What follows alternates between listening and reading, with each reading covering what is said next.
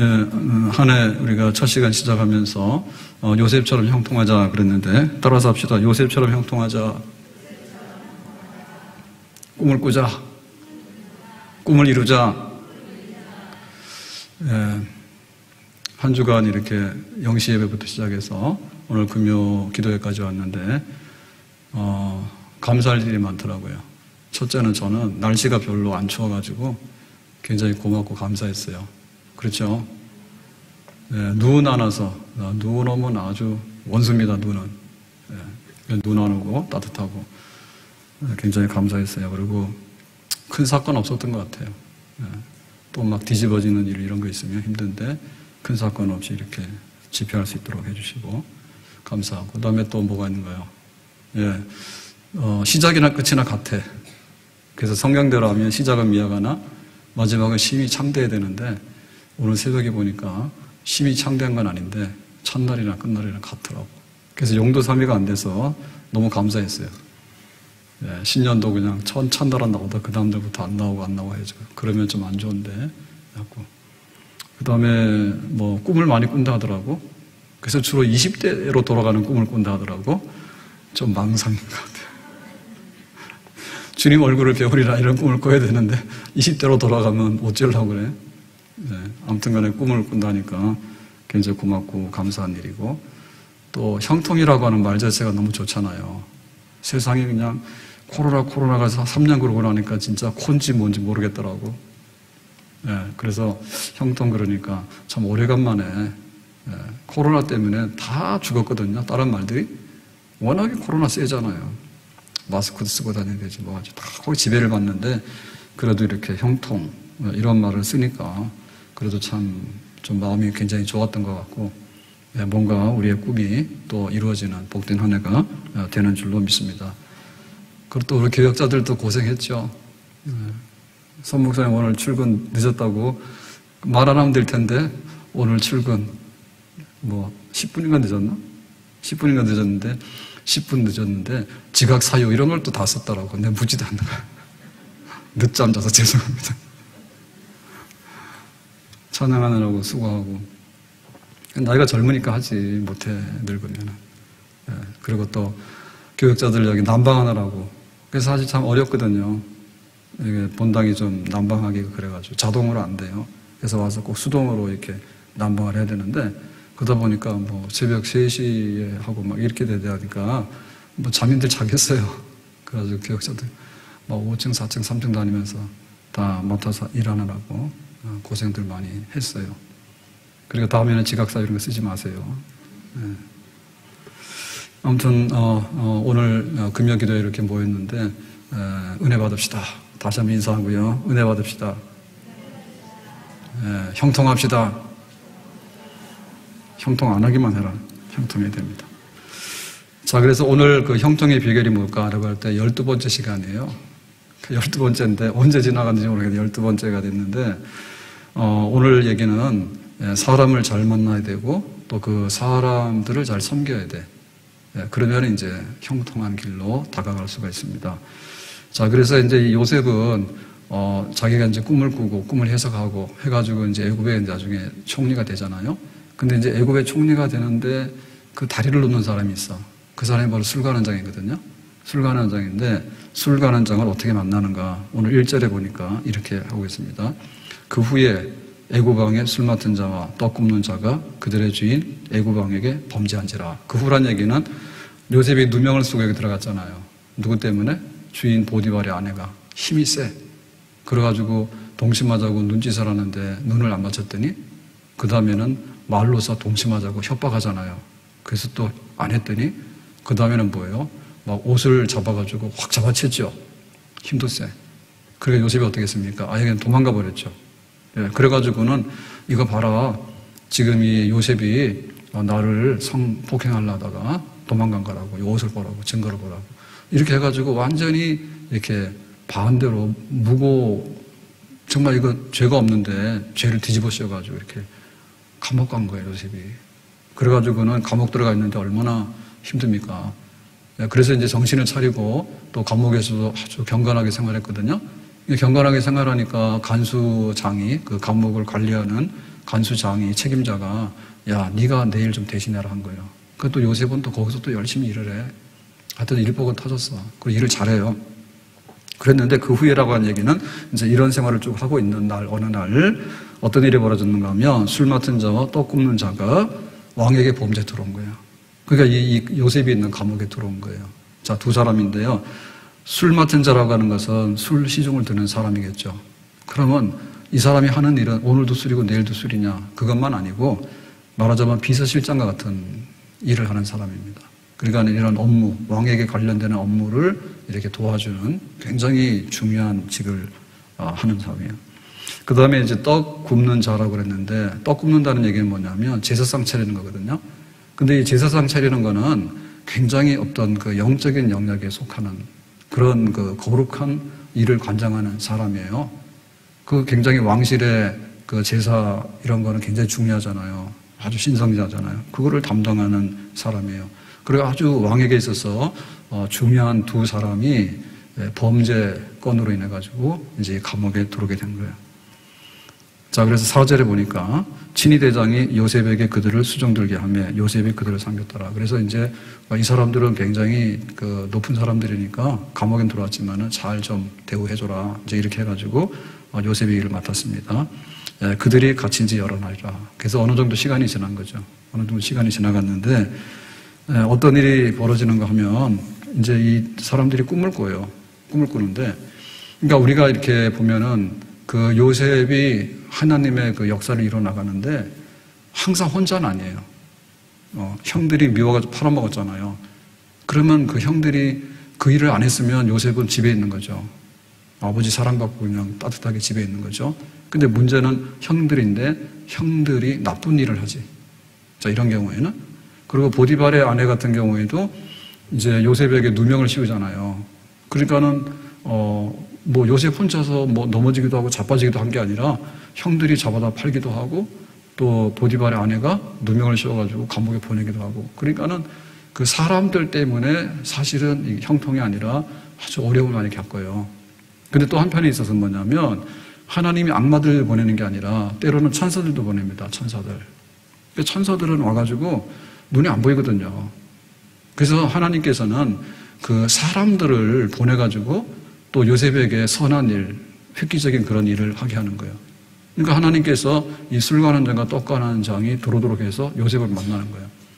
근데 원래 요셉이 그냥 그 집에서 일하는 가정 총무로서 일을 하고 있었으면 이런 사람들 만날 수가 없어요. 그러니까 집에서는 자기가 다 관리를 하지만은 자기 보디발밖에 없고. 근데 술 가는 장, 떡 가는 장을 언제 구경을 합니까? 그 바로 왕의 왕실에 중요한 직책을 맡은 사람들 얼굴을 볼 수가 없잖아. 근데 누명 쓰고 들어갔는데 거기에 이 사람들이 또 죄수가 돼가지고 들어온 거지. 그러니까 이 감옥이라고 하는 데가 요셉에게 너무나 억울하고 혹은 막 너무나 고달프고 이런 장소가 아니라 미팅하는 데지. 우리가 커피를 왜 마십니까? 예, 혼자 마셔도 되지만은 사람들끼리 만나서 얘기하는 재미가 굉장하잖아요. 만나서. 그러고 미팅 장소가 된 거예요. 그러니까 하나님께서는 그렇게도 쓰시는 거지. 그야말로 죄수가 죄를 버려라 해가지고는 감옥에다 가두는 경우도 있지만은 어떻게 보면 요셉 같은 경우에는 감옥이 술관원장을 소개받는 자리였어요.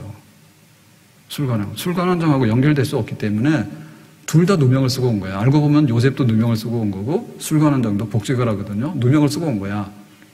그러니까 둘이서 접선하는 거죠, 여기서. 만나게 되는 거지. 그래서 우리가 형통한 길로 가려고 그러면은 좋은 사람 만나면 형통하고 불통하는 길로 가려고 그러면 나쁜 사람 만나면 불통하는 거야. 그 친구를 따라 강남 가는데 좋은 친구 따라가면 좋은 강남을 가는 거고 나쁜 친구를 따라가면 망하는 강남을 가는 거예요. 그 사람 굉장히 중요한 거예요. 천사는 우리를 도우러 오는 거고 악마는 우리를 파괴시키러 오잖아요. 이게 어떤 사람은 천사이기도 하고 어떤 사람 악마이기도 한 거예요. 근데 그 만남이 이게 중요한 거잖아요. 그래서 그 바울 같은 경우에도 이제 바울이 일을 하는데 사실 어마어마한 일을 하잖아요. 근데 바울의 주변에도 하나님께서 좋은 사람들을 어마어마하게 많이 보냅니다. 빌리포가 교회를 세우잖아. 근데 누구를 만납니까? 간수를 만나죠. 바울, 바울 이 거기 감옥에 갔잖아요. 그래서 감옥문이 열리니까 간수가 자결하려 하니까 하지 마라. 우리 도망 안 간다 그러잖아. 그래가지고 간수가 세례를 받고 간수의 집이 빌립보 교회 개척교회가 되는 거예요.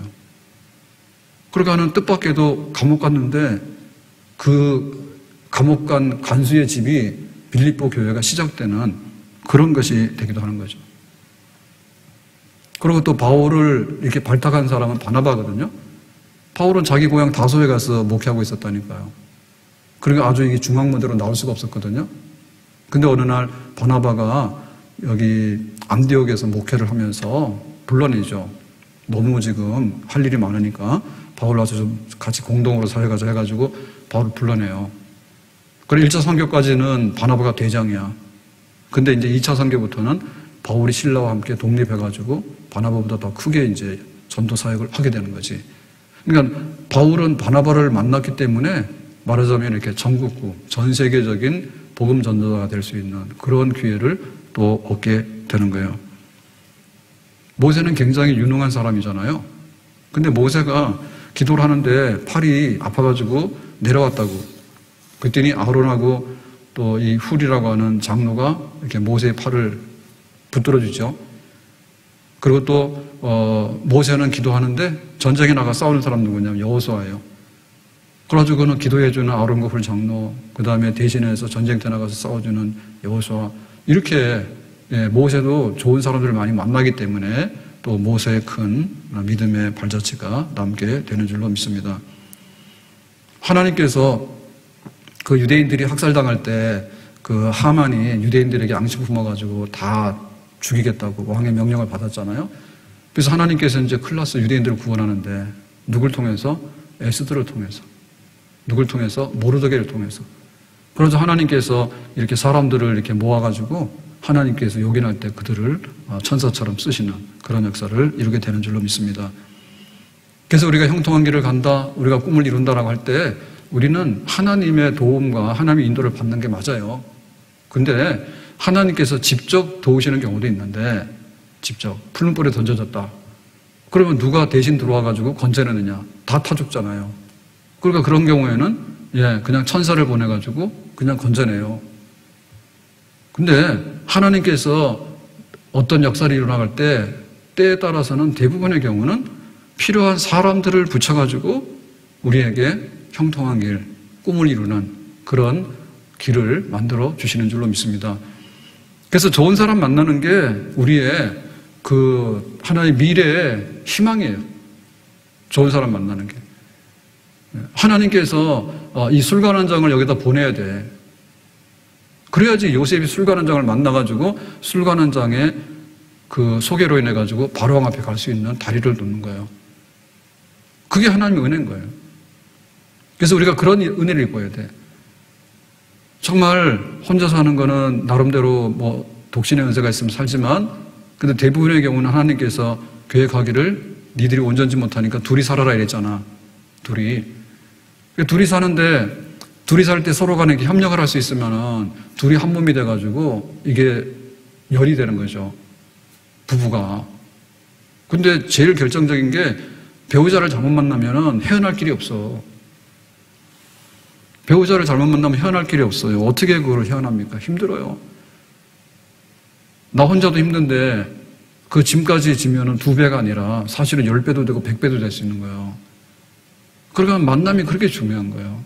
내가 형통길을 걸어가려면 내 인생에 동반자가 있어야 되는데 하나님이 어떤 사람을 붙여주는가 그거죠. 우리가 신앙생활 하는데 교회가 뭐냐 그러지만은 교회 정말 이렇게 목자들이 서가지고 하나님 백성들을 잘 이렇게 방향을 인도해서 가는 거. 어, 이거를 잘 만나면 어, 정말 좋은 하나의 그 길을 갈 수 있는 하나의 기회가 될 거예요. 교회 가서 시험 당하거나 혹은 다른 사람들 때문에 오히려 자기가 이렇게 타락하는 길로 가게 되면 예, 교회도 와가지고 불평분자들이 많습니다. 그런 사람들은 옆에 가면은 오염돼요. 옆에 가면 오염되는 거예요. 그러니까 좋은 얘기 안 하고 자꾸 쓸데없는 얘기하고 해로운 얘기 하잖아. 그러면은 오히려 지장이 돼가지고요. 나중에는 더 망가져 버리거든요. 복된 길로 가기 원하느냐? 그래서 우리가 꿈을 이루려고 하면 성공하는 사람들을 만나면 그 성공을 우리가 또 따라갈 수 있어요. 근데 실패하고 안 되는 사람들 자꾸 만나게 되면 배우는 게 그거야. 실패야. 그러다 넘어지고 또 넘어지고 하는 그런. 하나님께서 이제 바로왕을 만나가지고 애굽의 총리가 돼야 되는데 기가 막히게 감옥 안에 들어있는 요셉에게 또 누명을 쓰고 들어오는 술관원장이라는 사람을 보내가지고 거기서 사귀게 되고 거기서 이제 길을 열게 되는 은총을 주셨습니다. 자, 그래서 이제 사람을 만났는데 사람 만났다 해가지고 하루아침에 호강하거나 모든 일이 해결되는 건 아니에요. 우리가 사람 만났는데 야, 돈 내놔. 그러면 그 사람 돈 내놓겠어요? 그렇게는 못해요. 너 나한테 지갑이 돼가지고 다 열어라 그러면 누가 열겠어요? 내가 열만할 때 여는 거지. 완전히 상대방을 이용하려고 그러는데 그 사람이 이용 당할라나요? 이용 안 당하지. 그래서 우리가 사람을 만나더라도 하기 나름이요. 음, 내가 어떻게 하는가에 따라서 상대방이 나에게 또 많은 것을 줄 수 있는 것이지 내가 저 사람을 이용해가지고 어떻게 하겠다라고 생각하면 아무리 좋은 사람이라도 절대 우리에게 도움을 줄 수 있는 그런 보답이 돌아오지 않아요. 자, 6절에 보니까 이렇게 되어 있습니다. 아침에 요셉이 들어가 보니 그들에게 근심의 빛이 있는지라. 이제 감옥에 깜방에 있으니까 자기가 쭉 돌아보겠죠. 무슨 일이 없는가 밤새 안녕하시냐고 이렇게 했는데. 그러니까 이걸 보면 요셉이 굉장히 그 성실하고 또 자기 일을 아주 활발하게 했다는 걸 알 수 있죠. 대충 가지도 않고 오늘 이상 없어요라고 여기다가 기록을 해버리면 그렇게 되는 거 아니에요. 근데 가서 이제 얼굴로 대면하는 거지. 꼼꼼히 살피는 거죠. 들어가 보니 밤새 일 없었어요? 라고 했겠죠. 그들에게 뭐가 있다고요? 근심의 빛이 있는지라. 그 근심의 빛이라고 하는 건 뭐냐면 밤새 일어났던 안 좋은 일이야. 그럼 이게 꿈 때문에 그런 거예요. 아, 꿈을 꿨는데 꿈이 너무 이상한 거예요. 그 꿈이 너무 궁금한 거예요. 그래가지고 하, 이거 지금 뭐 어떻게 할까? 이렇게 술관원장 또 굽는 관원장이 그거를 이제 하게 된 거예요. 근데 자기들은 뭐냐면 궁궐에 있을 때 궁궐에는 굉장히 그 신령한 사람들이 많잖아요. 왕에게 자문하고 이런 사람들은 단순하게 지식만 갖는 게 아니라 꿈을 해석하고 미래를 예언하고 이런 영적인 능력을 가진 사람들이 궁궐에 있거든요. 근데 지금 여기는 감옥이라서 내가 꿈을 꿨는데 이게 무슨 뜻이래? 이렇게 물어볼 사람도 없고 여기는 아무 그런 대책이 없잖아요. 그러니까 분명히 어떤 거를 해결을 해야 되겠는데 어쩌나 해가지고 이제 근심, 걱정이 많이 되는 상태에 있는 거죠. 자, 이거를 이제 살펴서 알아봤다는 얘기는 뭐냐면, 어, 요셉이 그 사람들하고 어, 좋은 관계를 맺고 앞으로 이렇게 긍정적이고 발전적인 하나의 그 친교를 맺을 수 있는 그거가 되는 거지. 만약에 아침에 가서 상태도 돌아보지 않을 뿐더러 근심의 빛이 있었는데 아 이거 얼굴 좋으시네요. 오늘 good morning입니다. 이러고 가버렸으면 어떻게 돼요? 여기 있는 술관원장이 미칠 거 아니에요. 어? 제가 왜 저러고 갈까? 내가 지금 고민이 많고 걱정이 많은데 정말 내 속도 모르네. 저런 사람이 있어. 이렇게 할 거 아니에요. 근데 자기 근심하는 얼굴을 딱 알아보는 거야. 그 마음을 알아본다는 얘기는 뭐냐면 굉장히 깊이가 있다는 얘기죠. 깊이가 있다는 얘기는 뭐냐면 굉장히 그 사람에 대해서 관심이 있고 하나의 그 집중력이 있는 거예요. 저 사람에게 어떤 도움이 필요할까? 이런 걸 해야 거예요. 이런 거를. 저 사람 거 어떻게 빼먹을까? 야, 이리 와. 이렇게 해가지고. 예. 아, 이렇게 하려고 그러면은 그게 뭡니까? 군림하는 거고 상대방을 얕보는 거고 상대방에게 뭔가를 이렇게 누르려고 하는 거잖아요. 우리가 대부분에 가가지고 좋은 사람들하고 이렇게 만나서 이 관계가 안 되는 건 뭔가 하면 우리가 잘못 주기 때문에 그래. 잘못 주기 때문에 그런 거예요. 굉장히 근심하는 게 있으신가 봐요. 혹시 내가 도와드릴 게 있는가요? 아, 이렇게 얘기를 해야 되지. 그래야지 그 사람이 말도 할 거고 만약에 도울 수 있는 것이면 문제를 풀어주기도 하고 그래서 친구 맺는 거 하는 거 나중에는 정말 둘도 없는 그런 동력자가 되기도 하고 그런 거지. 근데 이런 것들이 요셉에게는 탁월했다니까요. 그냥 행정만 하는 게 아니에요. 종이다 쓰는 건 누가 못해. 종이다 쓰는 건 다 하잖아요. 그런데 상대방의 마음의 상태, 그런 것들을 읽을 수 있는 관심, 섬세함. 그러니까 이게 뭐냐면 굉장히 상대방을 존중해가지고 그 사람에게 뭔가를 내가 주려고 하는, 세워주려고 하는 그런 아주 선한 마음. 그런 것들이 요셉에게는 몸에 밴 거죠. 밴 거죠. 그 엘리가 있는데요. 엘리 제사장이 한나가 기도하는데 뭐라고 얘기했냐면 정말 기도를 어, 저렇게 열심히 하는데 무슨 사연이 있습니까? 이렇게 물어야 되잖아요. 엘리 제사장이. 왜냐하면 허구한 날 여기 지금 그 실로의 성막에 와서 기도하는 사람들을 보잖아요. 그래 날마다 기도하는 사람들 보는데 엘리는 그 나쁜 사람들만 생각이 난 거야. 그래서 여기 오긴 왔는데 술 취한 사람들 있죠. 그래서 술 취하면은 횡설수설 하잖아요. 그러니까 그런 부류의 사람들을 많이 봤다니까. 불량한 사람들을. 그리고 한나도 그렇게 본 거예요.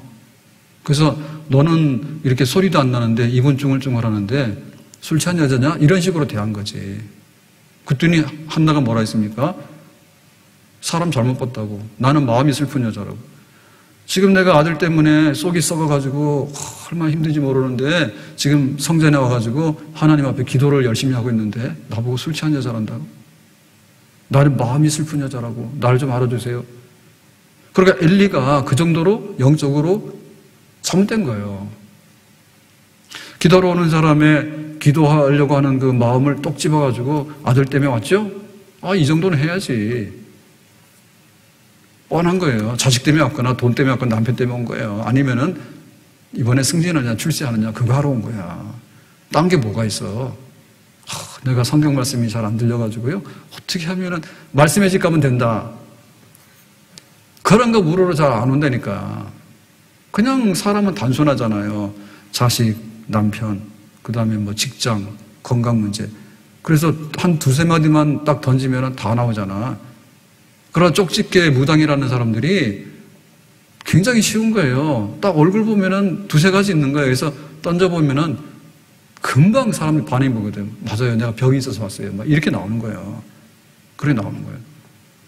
그 분별력이잖아요, 분별력. 근데 엘리에게는 그 분별력이 없었어요. 이미 불이 꺼졌다고. 영적으로 불이 꺼져가지고 암흑한 상태에 떨어지는 거예요. 하나님께서 동으로 가라는지 서로 가라는지 이 여자가 마음이 슬픈 여자인지 술 취한 자인지 구분이 안 되는 거예요. 그런데 요셉은 어땠습니까? 요셉은 자기가 누명을 쓰고 감옥에 들어와 있잖아요. 그런데 자기가 지금 이 그 죄수들을 섬기는 일을 하고 있잖아요. 근데 그거를 기분 나쁘게 했으면 어떻게 될까요? 다 기분 나쁜 사람 얼굴처럼 보이겠지. 술 가는 장, 너 기분 나쁘냐? 나도 기분 나빠. 너 억울하냐? 나도 억울해. 아, 그런 거밖에 안 볼 거 아니에요. 근데 요셉은 그런 게 아닌 거예요. 정말 당신에게 근심 있는 것 같아. 나는 근심이 없거든. 근심 있는 사람에게는 좋게 안 보이거든요. 근데 요셉은 자기가 그런 걸 다 극복을 하고 그 영적으로 은혜가 있기 때문에 내가 뭔가를 도와야 되겠는데 걱정할 일이 있어. 이렇게 다가가서 볼 수 있었던 거지. 만남이 중요한데 만남 다음에는 내가 그 사람에게 무엇을 줄 수 있고 내가 어떻게 보여주고 있는가가 중요하다고. 그래서 우리가 사람들 만나러 갈 때 막 가는 게 아니에요. 기도하고 하나님 만나서 가라고.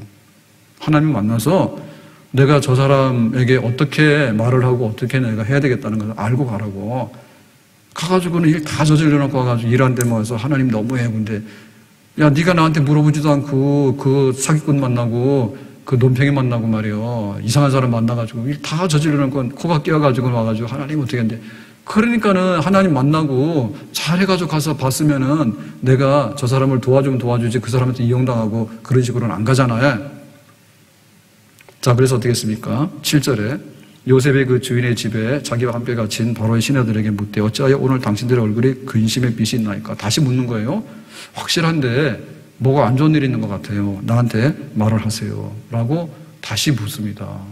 그러니까 이제 이 술관원장과 떡관원장이 꿈 얘기를 이제 끄집어낼 수밖에 없는 거죠. 어, 어떻게 우리에게 이런 말을 해줄 수 있고 우리 마음에 있는 그 근심을 해결할 수 있을까? 라고 해서 이제 자기들 스스로 고백을 하게 되는 거죠. 그러니까 그 요셉의 진심이죠, 요셉의 진심. 요셉이 당신들을 도우려고 하고 내가 관심이 많고 내가 할 수 있으면 당신의 근심을 명쾌 해 주고 싶고 그런 하나의 서비스잖아요. 섬김이잖아요. 그런 것들이 요셉에게서 팍 보여지니까 술관원장이 그래요. 라고 하면서 이제 요셉하고 말을 해가지고 자기의 마음에 있는 것들을 털어놓기 시작하는 것이죠. 한마디로 요셉은 예수님의 마음을 품었습니다. 예수님 마음 품었다고. 예수님의 마음이 뭡니까? 남을 나보다 낫게 여기고 나는 간수장에게 위임받아서 그래도 나는 여기서 살만해. 니들은 뭐야? 만약에 이런 식으로 했다 그러면은 그렇게 못하는 거지. 나보다도 당신들이 훌륭한데 나도 지금 누명을 쓰고 들어왔는데 혹시 그런지도 모르잖아요. 그러니까는 남을 나보다도 낫게 여겨서 존중하는 마음, 섬기려고 하는 마음, 뭔가를 도와주려고 하는 마음, 예수님의 마음 이런 것들을 가지고 있었던 거죠. 마태복음 7장 12절 그러므로 무엇이든지 남에게 대접을 받고자 하는 대로 너희도 남을 대접하라. 이것이 율법이요 선지 아니라. 그러니까 내가 하나님을 믿으면 하나님 말씀대로 살아야 되는데 하나님 말씀대로 산다는 것은 뭐냐면 다른 사람에 대해서 내가 대접을 받고 싶은 대로 남에게 대접을 먼저 해주는 거.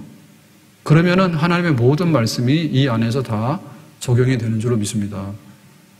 우리가 열쇠가 굉장히 중요하잖아요. 작다고 우습게 보면 안 돼요. 근데 열쇠가 있으면 문이 열려지기도 하고 열쇠가 있으면은 자동차가 시동에 걸리기도 하고 다 하는 거예요. 컴퓨터에 들어가서 뭐 하는 것도 다 비밀번호가 있어. 오늘 새벽에 제가 피자 시킨 얘기를 했는데 그거 회원 가입하는데 또 비밀번호 걸으래. 그러면 몇 개 없긴 없지만은 비밀번호 또 노트에다 적어야 돼. 왜냐하면 기억을 못하니까. 복잡한 세상이요. 근데 그 비밀번호 자체가 키야, 키. 내가 뭐 아무리 뭐 했어도 마지막에 당신 통장에서 이체를 하려고 그러면 비밀번호가 뭐예요? 묻는다니까. 그거 딱 돼야 되는 거예요. 그러니까 그게 뭔가 하면 내가 대접을 받고자 하는 대로 상대방에게 대접해주는 마음이죠. 대접해주는 행동을 하는 거지. 그러면은 술술술 다 열린다니까. 아멘? 좋은 사람이 어디 있는가 그것도 굉장히 중요하지만 내가 좋은 사람으로 그 사람한테 대우를 해줘야지 저 사람이 좋은 사람으로 나한테 대우를 해주는 거예요. 아멘? 내가 해를 끼치려고 하는데 상대방이 나한테 한 번 당하지 두 번 당합니까? 안 당하는 거죠. 주님의 마음을 본받는 자, 그 마음의 평강이 찾아오면 험악한 세상을 이길 힘이 하늘로부터 임함이로다. 주님의 마음 본받아 살면서 그 거룩하심 나도 이루리. 다시 주님의 주님의 마음을 본받는 자 그 마음의 평강이 찾아오면 험악한 세상을 이길 힘이 하늘로부터 임함이로다. 주님의 마음 본 받아 살면서 그 거룩하심 나도 이루리 여기 막 근심을 하고 있는데 요셉은 굿모닝 그러고 가버렸다 그러면은 끝나는 거예요. 네? 여기 아픈 사람이 있잖아요. 그러면 많이 아프십니까? 라고 해야 되는 나 건강해요. 몰라요. 가버리면 끝나는 거예요. 하나님께서 우리에게 꿈을 주시고 꿈을 이뤄나가는데 하나님이 천사를 통해서 하시는 일이 간혹가다 있죠. 근데 대부분의 세상 일이라고 하는 것은 사람들 사이에서 이루는 일이기 때문에 사람들 통해서 이루어진다고.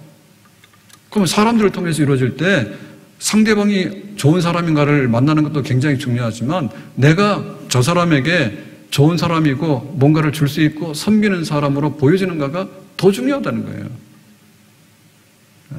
그러려면 내 마음속에 요셉의 그런 섬기는 마음이 있어야 돼. 근심빛이 있네요. 관심이 있어야 되는 거예요. 내가 근심빛을 내가 해결해 줄까요? 라고 하는 그런 섬김의 마음이 있어야 되는 거예요. 그게 바로 자기에게 충성하는 거예요. 자기 업무에 충성하는 거예요. 그러니까 그렇게 막 사람들에 대해서 그 기대 이상으로 하려고 하는 이런 사람을 보니까 마음이 열려지게 되고 나중에 후한 점수를 주게 되고 그 다음에 이제 은혜를 받은 만큼 또 은혜를 되돌려주게 되는 하나님의 형통함이라는 것이 그런 과정을 통해서 우리에게로 돌아오게 되는 줄로 믿습니다. 형통하는 사람, 형통하지 않는 사람, 되는 사람, 안 되는 사람, 성공하는 사람, 실패하는 사람, 이 차이가 있는데, 안 되는 사람들은 뭐냐면, 정말 상대방에게 도움이 안 되고 불쾌하게 하는 그런 걸 하는 겁니다. 뭐, 예를 들면 이런 게 있습니다. 차이가 있는데, 저는 이제 병원 가면서 어, 대부분의 경우는 병원은 가기 싫어요. 병원 가기 좋아하시는 분 손 들어봐. 병원 갈 때 기분이 막 좋아가지고 알딸딸 하신 분 손 들어봐. 일단 기분 나쁘죠. 내가 오늘 그래 기도하고 간다니까요. 병원 갈 때 기도하고 가는 거예요. 내가 뭐 큰 병이 안 걸리고 이런 것도 있지만은 기도하는 거예요. 괜히 의사 때문에 시험에 들게 하지 마옵시고. 진짜 그래요. 그만하기는 말이요. 아, 진짜. 교회만 와봐라. 죄인, 죄 회개라 내가 할 텐데 병원 가면은 내가 죄인이야. 그, 그런 생각 버리셔야 됩니다.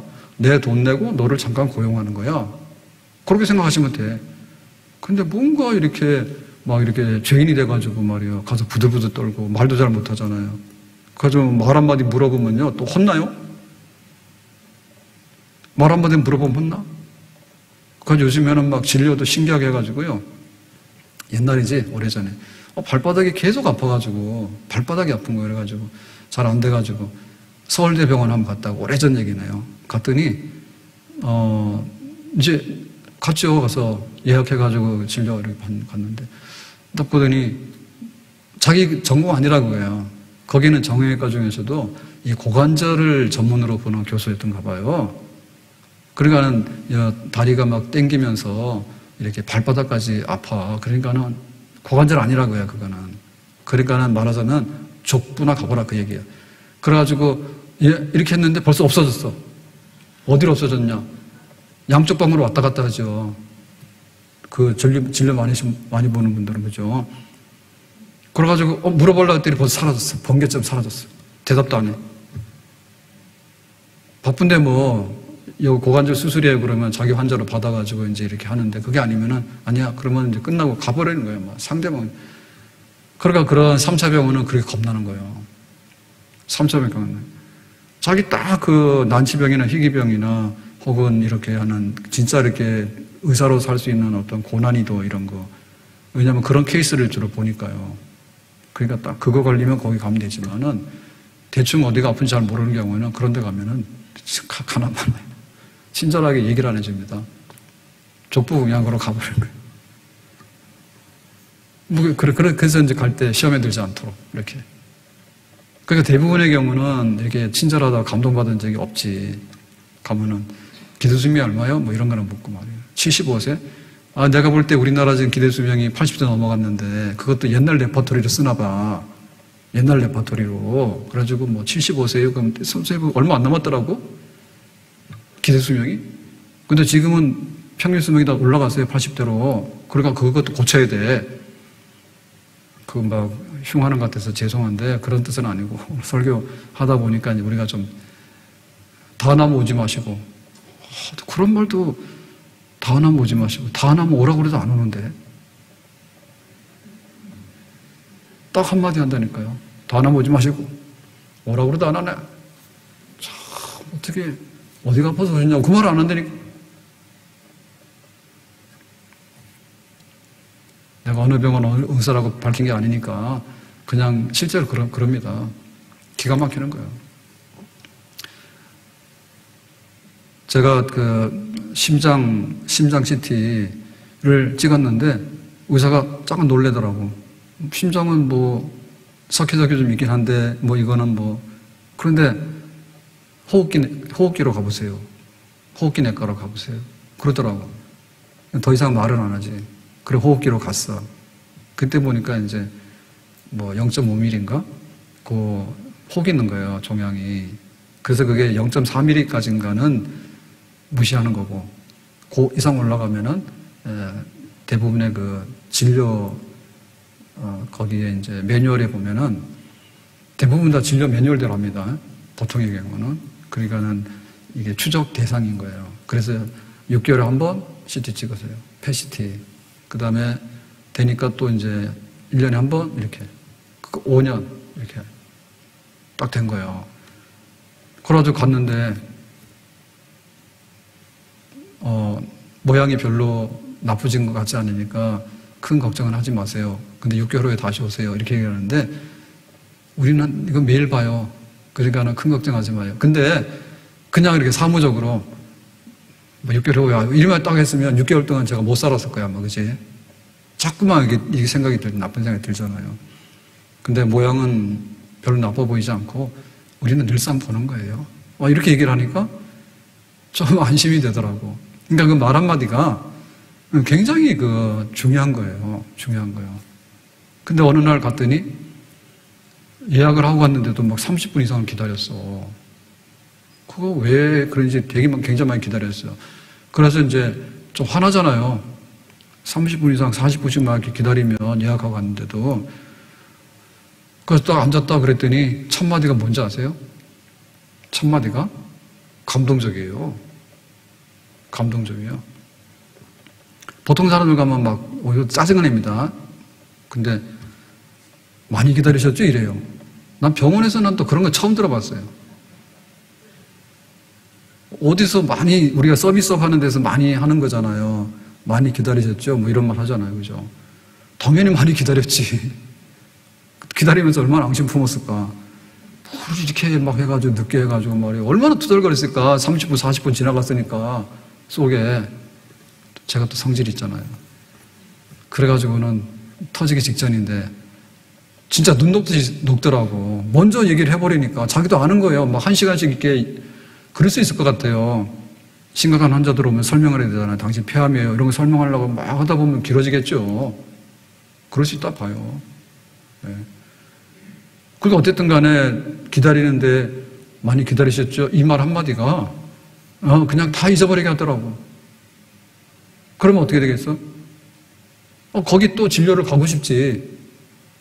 거기 또 진료를 가고 싶지. 어딜 가겠어요? 그러니까는 그 어, 형통한 길을 걸어가고라고 하는 것이 정말 예상 밖에 막 하늘에서 안 되는 사람한테다가 뭐 갖다 앵겨주고 막 이렇게 대박이 터지고 그런 경우 가끔 있다니까. 근데 사람들을 통해서 역사할 때 우리가 정말 저 사람이 나한테 막 이렇게 함부로 대하고 굉장히 나를 막 무시하고 막 폭력적으로 대하고 그러면은 그 사람하고 좋은 관계가 맺어집니까? 돼요, 안 돼요? 당연히 안 되잖아요. 그러니까 형통한 길이 열려진다고 보기 어려워. 뭔가 중요한 정보를 준다든지, 당신에게 관심이 많다든지, 어, 뭐 하나라도 걸려야지 우리가 좋은 거를 하게 되잖아요. 여기, 여기가 인파선이 있는 데잖아요. 그래서 안 좋으면 여기 인파선이 이렇게 막 좀 잡히고 갔잖아요. 근데 이게 있어요.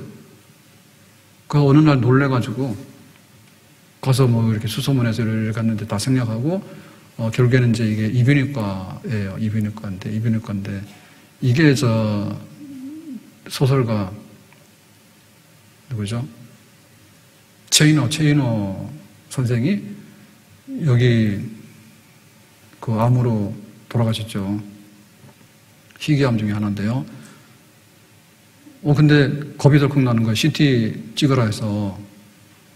그래서 갔더니 그 이제 결과 나온 거를 딱 이제 진료하는 날 첫 마디가 거기도 그런 거예요. 다행이에요. 딱 그러더라고. 다른 말 안 하고 첫 마디가 굉장히 중요한 거예요. 다행이에요. 다섯 마디인데 뭐 한순간에 안심이 딱 되더라고. 그렇잖아요. 많이 기다리셨죠? 요건 일곱 마디고. 그 평생에 저보고 얘기하라 그러면은 안 좋았던 거 많이 말할 수 있는데 좋았던 거 말하려면 그거밖에 말할 게 없어요. 그거밖에 말할 게 없어. 그러니까 우리가 어떻게 상대방에 대해서 내가 필요로 하는 말, 좋은 말, 도움이 될 수 있는 말을 할 것인가 하는 것은 그 값어치를 이루 말로 할 수 없는 거예요. 그게 하나님의 은혜가 있어야 되는 거예요. 아멘? 하늘의 꿈이 이 땅에 이루어지는데 그냥 쾅 떨어지는 게 아니라니까요. 하나님께서 보내실 때 대개의 경우는 천사를 통해서 아니 천사 같은 사람들을 통해서 아니 우리가 어떻게 하는가에 따라서 그 사람들이 우리에게 좋은 것을 전달해 주므로 그렇게 이루어지게 되는 줄로 믿습니다. 뭐 말로 다 할 수가 없습니다. 이런 얘기를 하려면 밤새도록 해야 돼. 밤새도록. 오색약수 가서 우리 권사님들하고 몇 분하고 간 적이 있었는데 어, 부교교장 권사님들이랑 간다 그런데 교회 행사 끝나고 나서 한번 그런데 저녁 좀 늦게 갔거든요. 그랬더니 식사를 안 한다더라고 배부르다고 그게 순 거짓말인 게 드러났어. 그래가지고 그러면은 아, 집에까지 올라면 좀 머니까 식사라도 하고 가자 이렇게 해가지고 제가 막 권했나 그래. 그러다 들어가서 비빔밥 간단하게 비빔밥 했는데 새로 밥을 지어가지고 막 계란 후라이까지 해가지고 막 참기름까지 해가지고 막 나무로 해가지고 왔는데 다 드셨지? 권사님 다 드셨지? 기억나 안 나요? 한 입으로 두 말합니까? 아, 맛있다 맛있다 그러면 안 먹는다고 막 그러더니 말이에요. 그날 맛없으면 저 큰일 날 뻔했어요. 그 봐요. 배도 부른데 먹기도 싫은데 왜 오자 해가지고 이게 뭐예요? 막 이래서 지금까지 못 먹어요. 근데 아마 제가 먹은 비빔밥 중에는 거의 최고 같아요. 근데 그 주인이 문 닫을 시간인데, 문 닫을 시간인데 일부러 밥을 해가지고 이렇게 상을 내왔는데 반찬도 좋고 아, 성의를 막 다 해가지고 이렇게 한 거예요. 그거 무슨 돈이 되겠어요? 그럼 그거 얼마짜리 비빔밥을 새로 밥을 해가지고 내놓는데 그렇게 정성을 해서 하더라고. 기억이 난다고. 근데 얼마 전에는 저희 집 아내랑 같이 갔는데 주차장을 잘 못 쓰게 하더라고. 그래서 여기 주차를 하면은 그 여쪽 식당 가서 꼭 먹어야 된대. 그래서 공영 주차장이 너무 멀어가지고 거기다 주차를 했는데 안 갈 수가 없잖아요. 그러니까 무슨 그 오리 새끼 끌고 가는 것처럼 거기다 됐는데 길 건너 그 식당으로 가라는 거야. 그러니까 우리 앞에 가는 분들은 그러더라고. 그냥 식당으로 들어갔다가 통과하고 나가버려 이러더니 진짜 나갔어. 그러니까 뛰는 놈이 나는 놈이 있더라고. 주차비를 안 받을 테니까 그 식당 가서 밥을 먹으라고. 이렇게 해놓으니까 그 식당으로 이렇게 들어간 거야. 오리들 줄에 묶어가지고 끌고 가듯이. 그더니 한 너댓 명이 됐는데 모르잖아요. 식당에서는요. 밥 먹고 나가는 사람인지 모르잖아요. 계속 쳐다보고 있기 전에는. 그리고 진짜로 그냥 싹 지나가 버리더라고. 그 집에는 주차비 못 받은 거예요. 근데 우리는 주차비를 안 내는 대신에 밥을 먹어야 되겠다 해가지고 앉았는데 진짜 맛없는 거예요. 그 우리가 딱 보면 알아. 이게 자기들이 김치를 담그고 뭐 된장하라고 정성스럽게 한 건지 아니면은 갖다가 사다가 대충 올려놓는 게 보면 대략 알거든요. 너무너무 다른 거예요. 너무 다른 거예요. 우리는 모르지. 겉으로 볼 때 모르지. 근데 실상에 있어서는 그 식당이 많으니까 아, 할머니 원 할머니 오래도록 하신 분들은 연세들 많은 분 있잖아요. 그런 분들이 평일날 이렇게 주로 월요일날 가잖아요. 하루 가면은 월요일 갔다 오고 하니까 그런 날 사람이 거의 없어요. 그러니까는 막 밤늦게까지라도 이렇게 나와서 식사 안 했으면 우리 식당에 들어와서 하고 가세요. 근데 너무너무 마음이 안타까운 거예요. 그래서 손님 한 사람 더 이렇게 받으려고. 그런데 주차장 됐으니까 일로 다 와. 그때 여기 통과하고 가서 밥 먹고 가는데 가보니까 먹을 수가 없다. 이 밥이 성의가 없는 것 같아서. 그러니까 그 기억이 너무 다른 거예요. 한쪽에는 진짜 팔아주고 싶은 거고, 한쪽에는 다시는 가고 싶지 않다. 예. 그 동네가 번영하려고 그러면 그렇게 하면 안 돼요. 동네 번영을 그렇게 하면 안 돼. 그래가지고, 오늘 노는 얘기 너무 많은데, 저 많이 놀러 안 다녀요. 근데 문경세자 같은 경우에도 옛날입니다, 옛날에. 한 10년도 넘을 거예요. 그 오다가 고속도로 오다가 잠깐 들러 가자 해서 갔는데 그날도 평일날 가니까 아무도 없어. 주로 가면 아무도 없어요, 우리는. 근데 할머니가 이 노점 하다가 그 이렇게 장사를 거두는 시간이야. 오후 늦게 잠깐 들어갔더니 거두는데 그 나물 같은 거 팔잖아요. 그러니까 이거 진짜 국산이라 그거지. 국산이라 그거지. 근데 그래도 중국산 많이 하거든요. 그 식당에 들어오는 게 다 국산인가? 아닐 거야, 아마. 그러면서 하는 말이 그거예요. 이거 중국산 갖다 팔면은 그 문경이죠, 그죠? 문경시에서 단속해서 우리 잡혀가요, 막 그러더라고. 그러니까 이거 진짜 여기서 현지에서 나온 나물 가지고 이렇게 한 거니까 이렇게 막 얘기를 하는데 아무도 오가는 사람이 없으니까는 그냥 철수해가지고 가더라고. 그런 분들은 너무 양심적인 것 같아. 할머니가 꼬부러졌는데. 그거 중국산을 섞을 마음도 없고 그랬다가는 우리 큰일 난다고 이렇게 얘기를 하는, 진행한다라고. 근데 뭐 그냥 대놓고 막 중국산 갖다 팔잖아요? 그러면 손님 다 떨어지는 거예요. 형통하려고 그러면 그 지역이 형통하고 그러려면요, 뭐, 뭐가 맞아야 돼요. 네? 맞아야 되는데, 그래야지 그 다 함께 그 형통한 그런 것들을 누릴 수 있거든요. 안 되는 거지. 안 되는 거지. 집에 서비스 그 수리 같은 거 하러 오잖아요. 가전제품도 우리나라 너무 잘하잖아요. 가전제품도 좋을 뿐만 아니라 서비스 너무 잘해주잖아요. 근데 와가지고 뭐 다른 게 어디 손볼 데는 없어요. 이렇게 해가지고 가시는 분이 있는가 하면은 오라고 해도 안 오는 사람이 있어. 제가 그 쿠팡 회원 탈퇴했습니다. 어젠가 그제.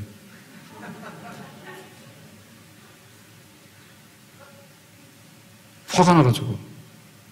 어, 왜냐면은 한 달에 2,900원이었는데 얼마 전에 그 5,900원으로 올렸어요.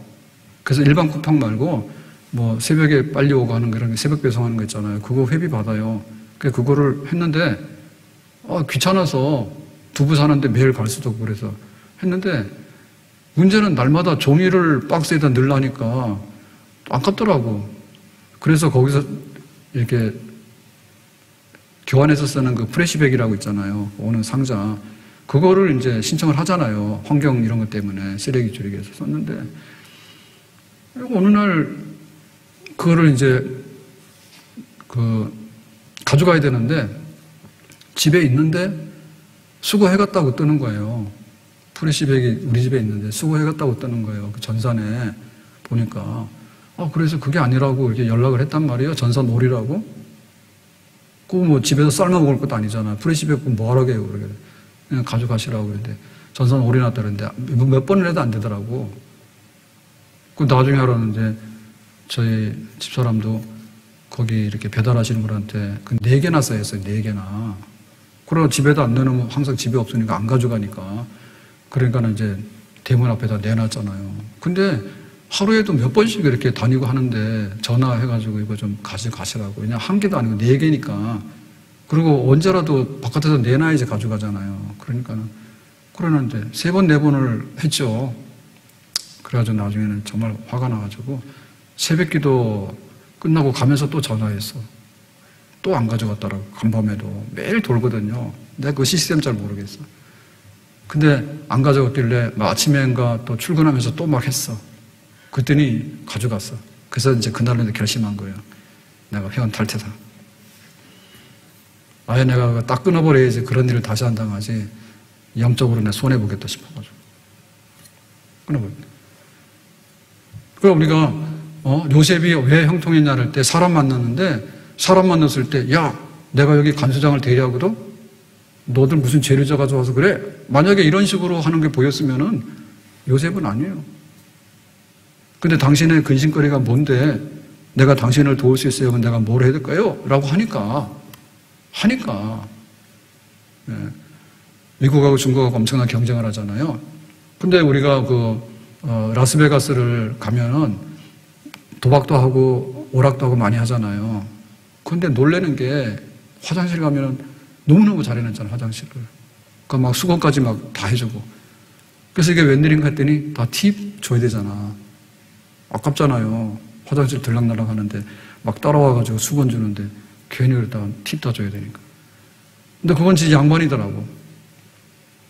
옛날에 중국을 갔는데 지금 모르겠는데 중국의 화장실은 앞에 문이 없더라고. 가보니까. 근데 거기 유료야, 유료. 돈을 내야 되는데 우리는 상상이 안 갈 거예요. 선 목사님은 몰라. 옛날 시골 화장실 있지. 옛날 시골 화장실이요. 그죠? 대문 없는 화장실 있잖아요. 자기네 집에서 쓰는 거. 아니, 무슨 뭐 큰 역에, 큰 역사에 화장실에 들어갔는데 뭐 대문도 없이 말이요. 그런데 돈 받고 막 그래. 옛날에 가보니까. 그래가지고 똑같은 유료지, 그죠? 한쪽에는 막 너무 서비스가 잘 돼가지고 팁을 받는데 한쪽에는 그래 돈만 받아. 한쪽에 돈만 받아. 그러니까는 이게 문화적인 차이 너무 나는 거지. 문화적인 차이 너무 나는 거지. 왜 형통한 길로 가느냐? 감동을 주라니까. 바울이 빌립보 감옥에서 기도해가지고 옥문이 열려지니까 나가려고 했는데 간수, 간수가 자결하려 하잖아요. 제수들이 도망가면 큰일 나니까. 그랬더니 바울이 뭐라 했습니까? 우리 도망 안 간다 했지. 죽지 말라고. 그 대신에 예수 믿으면 구원받는다고 이렇게 얘기를 했잖아요. 그리고 간수가 뭐예요? 두 말도 안 하고 예수를 믿어버리지. 도망가면서 너 나중에 예수 믿어라 이러고 갔으면 어떻게 될까요? 간수가 죽었거나 앙심을 품었을 거야. 바울하고 신라하고 얘네들 때문에 내가 직장에서 쫓겨나고 망했다고 앙심 품어가지고 그래 됐을 거 아니에요. 그런데 이 감옥의 문이 열려져 가지고 도망을 막 가는데 바울은 뒤돌아와 가지고 당신 안심하고 예수나 믿으라고 이렇게 도닥이니까 그 자리에서 그냥 세례를 받아버리죠. 세례 받아. 사울의 손자가 무비보셋이에요. 근데 어느 날 다윗이 호출했어. 궁궐로 오라고. 아, 그러니까 이제 무비보셋은 그랬죠. 아, 사울이 다윗을 너무 미워해가지고 이제 때가 됐구나. 할아버지 잘못한 거, 그 때문에 내가 죽게 생겼구나 하고 이제 죽은 목숨이라고 간 거예요. 왕이 부르니까 갈 수밖에 없잖아요. 그랬더니 다윗이 그러는 거예요. 야, 오늘부터 이 궁궐에서 한 가족으로 지낸다 이렇게 된 거예요.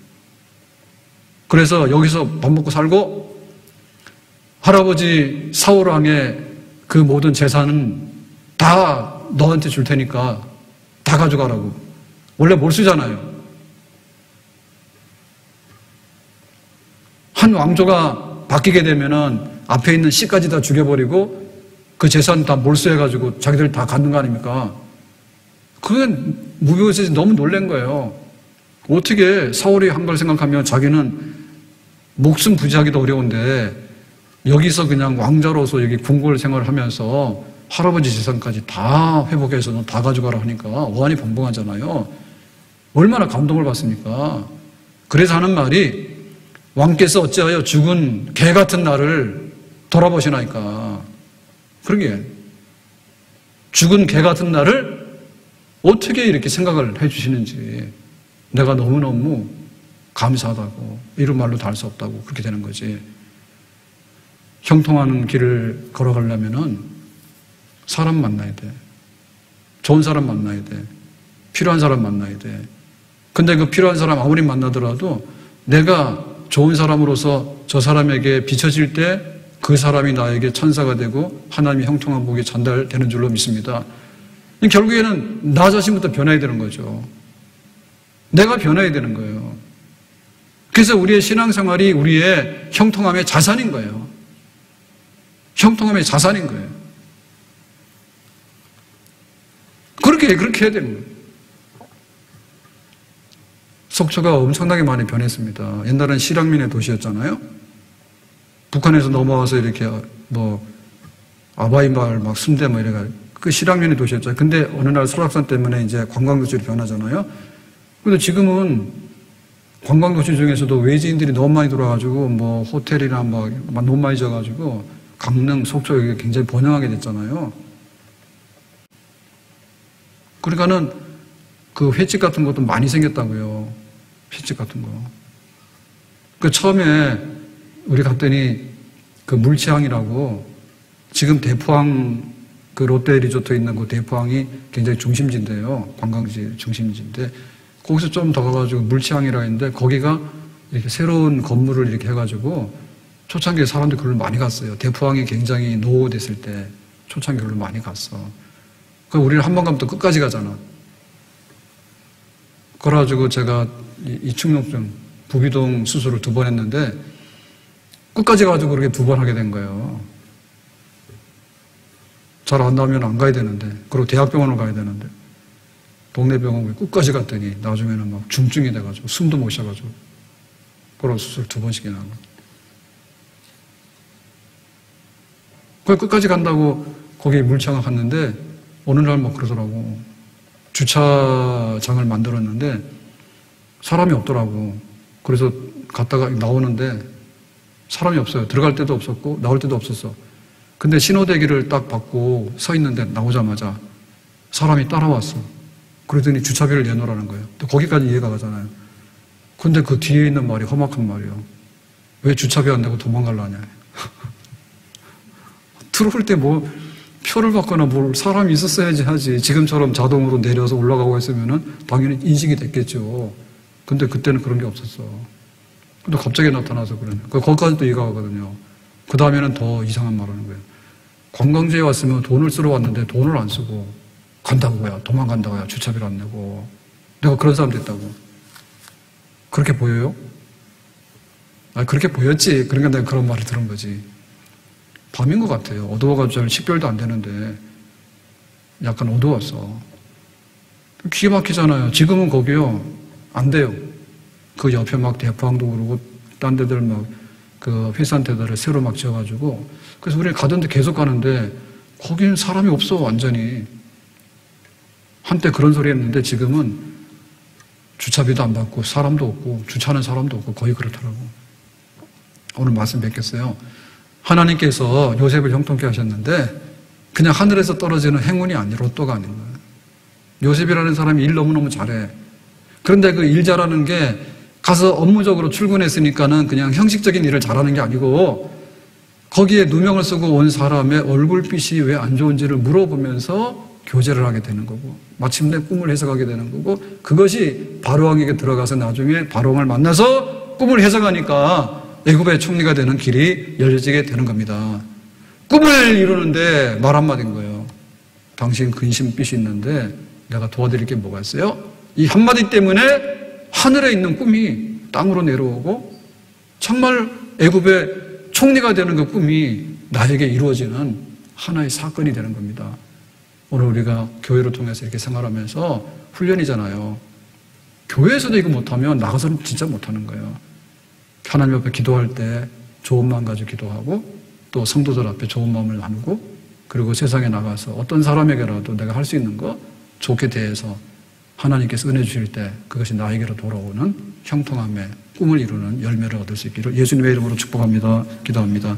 오늘 주신 말씀과 같이 하나님의 은혜가 이루어지는데 꿈이 이루어지는데 좋은 사람, 좋은 모습으로 우리가 늘 사귀고 그 안에서 하나님의 축복을 담아내기를 원합니다. 예수님의 이름으로 기도합나이다. 아멘.